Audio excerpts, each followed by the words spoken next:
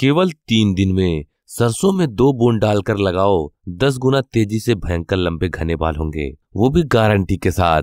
नमस्कार दोस्तों, स्वागत है रोगानुसार में एक बहुत ही खास और बहुत ही इंपॉर्टेंट वीडियो के साथ। दोस्तों, बहुत से लोग कमेंट में पूछते हैं, सर, ये नुस्खा काम करेगा कि नहीं? आपको बता दें, जो भी नुस्खा बनाते हैं, वो हंड्रेड परसेंट कारगर होता है और बालों पर आजमाया हुआ होता है, जिससे कि बालों की ग्रोथ बहुत तेज होती है। लेकिन आज की ये वीडियो बहुत ही खास है, इसलिए इसे बनाने का तरीका आप ज़रूर जान लें और लास्ट में जो चीज़ हम मिलाने वाले हैं, उसे आप ज़रूर मिला लीजिएगा, क्योंकि बालों के लिए अमृत से कम नहीं है वो।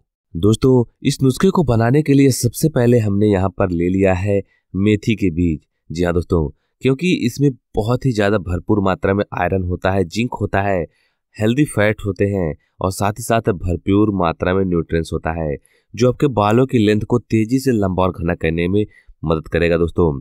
अगर आपके बाल बहुत ज़्यादा झड़ रहे हैं तो ऐसे में मेथी दाने का यूज़ इस तरह से ज़रूर कर लें, क्योंकि बालों पर अगर आप इसका यूज़ तरीके से करेंगे सही तरीके से करेंगे तो आपके बालों की ग्रोथ होना निश्चित है। लेकिन इसे बनाने का तरीका आपको पता होना चाहिए। इसमें जो एंटी फंगल एंटी माइक्रोबियल गुण होते हैं वो बालों पर और साथ ही साथ स्कैल पर अगर कोई इन्फेक्शन है, जिससे बाल बहुत ज़्यादा टूट रहे हैं, क्योंकि आप स्कैल पर तो देख नहीं सकते हैं तो ऐसे में आप जब इसका यूज़ करेंगे तो बालों से जुड़ी सभी समस्याएँ समाप्त हो जाएँगी और बाल तेज़ी से लंबे और घने होंगे। क्योंकि सबसे बड़ी प्रॉब्लम्स हो रही है इस समय की बाल झड़ने की, जी हाँ बाल टूटने की। बहुत से लोगों के बाल हाथ में हमेशा आते रहते हैं, कंघी में आ जाते हैं तो ऐसे में आप ज़रूर यूज़ करिएगा इसका। दोस्तों, आपको एक कटोरी ले लेना है और उसमें एक चम्मच मेथी के बीज को ऐड कर लेना है। नेक्स्ट आपको दोस्तों लेना है सरसों का तेल। हमने अभी यहाँ पर सरसों का तेल लिया है, लेकिन लास्ट में जो चीज़ हम मिलाने वाले हैं, उसे आप ज़रूर मिला लीजिएगा इस नुस्खे में। वैसे सरसों के तेल के बारे में आपको ज़्यादा बताने की ज़रूरत नहीं है, क्योंकि पुराने समय से लोग सरसों के तेल का ही यूज़ करते आ रहे थे। और आजकल के समय में तो कई तरह के तेल आ गए हैं, जो कि केमिकल युक्त होते हैं। लेकिन जो पहले के लोग थे, वो कच्ची घानी, यानी कि बेहतरीन सरसों के तेल का यूज़ करते थे, जिससे उनके बालों की ग्रोथ बहुत ही अच्छी होती थी। आप खुद सोच सकते हैं कि पहले के लोगों के बाल कितने लंबे और घने होते थे। लेकिन दोस्तों, आज इस तरीके से अगर आप सरसों का तेल यूज़ करेंगे तो विश्वास मानिए बालों की लंबाई बहुत ही तेज़ी से बढ़ने वाली है क्योंकि इसमें भरपूर मात्रा में मोनो एसेचुरेटेड फैट होता है और भी कई तरह के फैट होते हैं। साथ ही साथ है, जब आप इसका यूज़ अपने बालों पर करेंगे तो बाल नरिश होंगे शाइनी होंगे सॉफ्ट होंगे। और इसके अलावा आपके स्कैल्प अगर कोई प्रॉब्लम्स होगी तो स्कैल्प की प्रॉब्लम भी समाप्त हो जाएगी।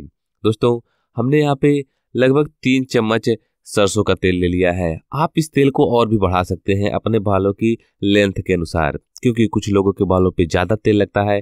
तो ऐसे में आप अपने बालों के अनुसार इसमें तेल को मिला लीजिएगा, जितना भी आपके बालों पर ऑयल लगता हो एक बार में।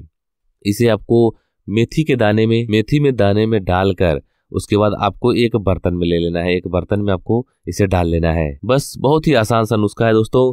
आपको इसे गैस पे रख लेना है। लो फ्लेम पर कुछ मिनट तक आप इसे पका लीजिए। जब तक ये ब्राउन रंग का ना हो जाए, मेथी के दाने जब ब्राउन रंग के हो जाएँगे तो आपको इसे गैस से उतार लेना है और रख देना है इसे ठंडा होने के लिए। थोड़ा सा गुनगुना ही रहे, तभी आपको इसका यूज़ करना है। एक कटोरी लेना है और उस पर आपको चाय छन्नी लगा लेनी है। और उसके बाद इसमें जितना भी ऑयल है, आपको उसे पूरे ऑयल को इस चाय छन्नी में डाल देना है दोस्तों। पूरे ऑयल को आपको यूज़ करना है। आप चाहे तो इसमें जो मेथी का दाने हैं, उसको भी इसमें डालकर थोड़ा सा दबा लीजिएगा हल्का हल्का तो इसमें जो भी ऑयल होगा, वो आसानी से चाय छन्नी से निकल जाएगा।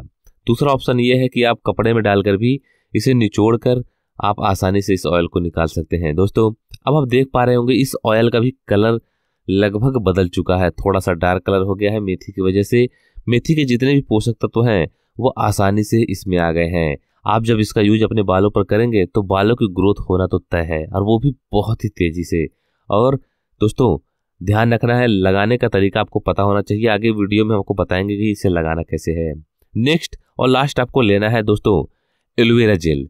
एलोवेरा जेल आप आसानी से जो मार्केट में मिलता है उसका यूज़ कर सकते हैं, लेकिन अगर आपके घर पे एलोवेरा का पौधा मौजूद है तो उससे जेल को निकाल लीजिएगा। दो चम्मच उस जेल को निकालिएगा जो आपके घर पे पौधे से निकालना है आपको, और अगर आप मार्केट का यूज़ कर रहे हैं तो आप एक चम्मच एलोवेरा जेल काफ़ी होगा आपके बालों के लिए। आप एक चम्मच अपने इस नुस्खे में एलोवेरा जेल को मिला लेना है दोस्तों। थोड़ा सा आपको मेहनत करनी होगी, क्योंकि एलोवेरा जेल को इस तेल में मिलाने में आपको थोड़ी सी कठिनाई होगी तो इसलिए आप थोड़ा सा समय देकर अच्छे से इसे मिला लीजिएगा, खूब अच्छे से आप मिलाइएगा, ताकि आपको बालों में भी लगाने में आसानी हो और पूरी तरह से अच्छे से मिलने के बाद आपके बालों पर पूरी तरह से बराबर से लगाने में भी आसानी होगी। दोस्तों, बहुत ही आसान सा नुस्खा था और लगाना कैसे है इसे भी हम जान लेते हैं, लेकिन अगर आपने हमारे चैनल को अभी तक सब्सक्राइब नहीं किया है तो चैनल को सब्सक्राइब कर बेल आइकन ज़रूर दबाएँ। और अगर आपको इस वीडियो से थोड़ी सी भी जानकारी मिले तो वीडियो को एक लाइक ज़रूर करें। दोस्तों, लगाना बहुत ही आसान है। इस नुस्खे को आपको सप्ताह में तीन दिन लगाना है। जी हाँ केवल तीन दिन आपको सप्ताह में लगाना है।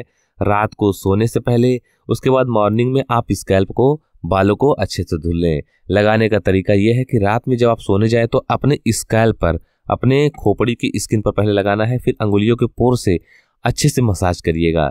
फिर पूरे बालों के लेंथ पर लगाकर बालों को लपेट कर सो जाइएगा। उसके बाद मॉर्निंग में आप बालों को शैम्पू से वॉश कर लीजिएगा। अगर हर्बल शैम्पू है तो बहुत ही अच्छी बात है। आप हर्बल शैम्पू लगाएँगे तो बहुत ही अच्छा होगा। अगर आपके मार्केट में हर्बल शैम्पू नहीं मिला है तो लिंक डिस्क्रिप्शन में है, आप हर्बल शैम्पू वहाँ से भी परचेज कर सकते हैं और भी चीज़ें परचेज कर सकते हैं जो आपके बालों को तेज़ी से लंबा और घना करने में मदद करेगा।